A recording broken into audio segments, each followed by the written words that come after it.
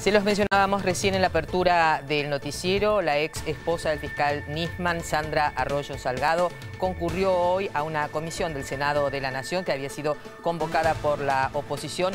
Allí, eh, por supuesto, la exposición fue extensa, hizo varios reclamos, entre otros, eh, que no se politice la investigación. Efectivamente, hizo pedidos muy concretos. La ex esposa de Nisman también dijo, no soy ni oficialista ni opositora. Esto pasaba hoy en el Senado. Lamento que esta invitación haya tenido lugar en, eh, un momento eh, tan difícil para mí. No soy oficialista, no soy opositora. No se me escapa que esta convocatoria y esta invitación es realizada por un consenso parlamentario integrado por los bloques e interbloques legislativos de la oposición, de la Cámara de Senadores y Cámara de Diputados, y que está teniendo lugar en simultáneo con la actividad legislativa que se está desarrollando en el recinto, entiendo con el trabajo de legisladores del oficialismo que se encuentran debatiendo y dando tratamiento legislativo a un proyecto de reforma de la ley de inteligencia.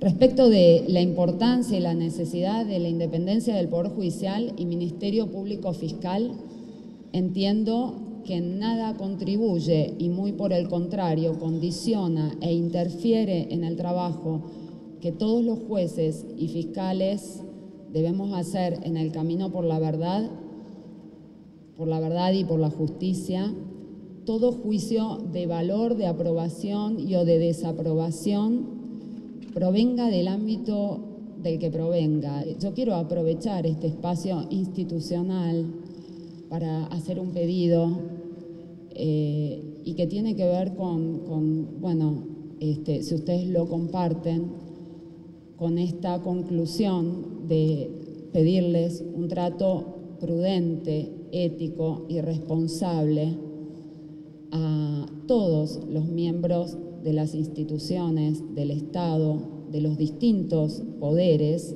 dejar que la justicia y el Ministerio Público Fiscal trabajen tranquilos y debemos creer en las instituciones de la República. Por eso les pido a quienes compartan esta reflexión estar a la altura de las circunstancias, en la medida de lo posible no seguir politizando un hecho que, este, todavía, en el que todavía restan muchas cosas por despejar, más allá de la convicción que tiene la familia en su totalidad este, y que, bueno, ya de algún modo ha trascendido públicamente. Solicité también a la Defensora General de la Nación que es la cabeza del Ministerio Público de la Defensa, que evalúe someter a consideración del programa para la aplicación de tratados de derechos humanos la posibilidad de denunciar el caso ante la Comisión Interamericana de Derechos Humanos. Y además, particularmente en este caso, yo he solicitado también que se evalúe la pertinencia de pedir a la comisión la designación de un veedor para esta investigación, tal como ya se hiciera en el curso del juicio oral y público que fue llevado adelante eh, a propósito del atentado terrorista de la AMIA. La jueza Arroyo Salgado en esta exposición esta tarde en el Senado también eh, criticó justamente la exposición mediática de algunas de las pruebas que dice terminaron perjudicando y desviando la investigación. Así es, habló de una inusitada información eh, llegada, digamos así, de datos a los medios de comunicación que justamente, como decía Pablo, desvían el curso de la investigación. Vamos a ver la segunda parte de la participación de Arroyo Salgado hoy en el Senado. Es medida inusitada exposición mediática que está teniendo todas y cada una de las pruebas que se van obteniendo contribuye a alejarnos de la verdad. Lejos de ayudarnos a llegar a la verdad, nos aleja, no ayuda esta sobreexposición mediática. Por el contrario, facilita la impunidad de quienes pueden ser los responsables de este hecho. Y esto al margen de otra cuestión que a mí me afecta y muy de cerca y que hace a la seguridad propia y del el resto de la familia del doctor Nisman. Es por eso que hoy hicimos esta presentación ante la Fiscalía exigiendo que a este proceso se le dé el mismo tratamiento que a todos los procesos en trámite. Conocido es por todos ustedes el Código Procesal Penal de la Nación, que establece que los sumarios solo son públicos para las partes.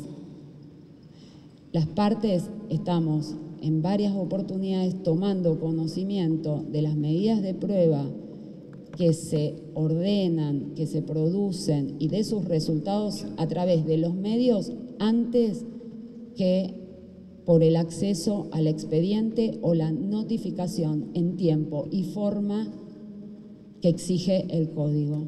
Basta con consultar los sitios web de las oficinas de prensa y difusión de la Corte Suprema de Justicia y de la Procuración General para tomar conocimiento de todas y cada una de las medidas que se hicieron, su contenido, que se sugieren. Y es de toda lógica que hay medidas de prueba en materia penal que por su propia naturaleza, anticiparlas o conocerlas ex ante, frustran su, su resultado. Publicar y anticipar el curso de investigación conspira contra ese fin del proceso al que se debe el Poder Judicial y el Ministerio Público Fiscal, que es la búsqueda de la verdad y en su caso la condena de todos los responsables si estamos ante un hecho criminal.